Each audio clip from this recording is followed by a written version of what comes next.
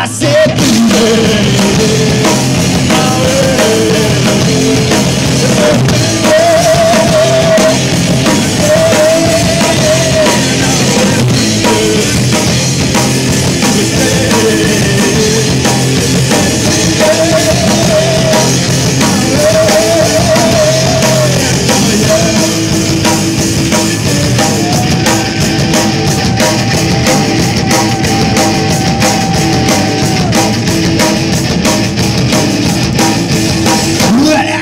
Let me